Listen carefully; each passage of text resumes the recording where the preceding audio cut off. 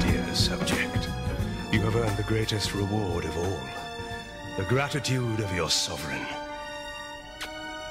Imagine, I now possess the power to end hunger, to abolish disease, to eliminate crime, to establish a perfectly content, perfectly ordered world, all under the benevolence of my iron will.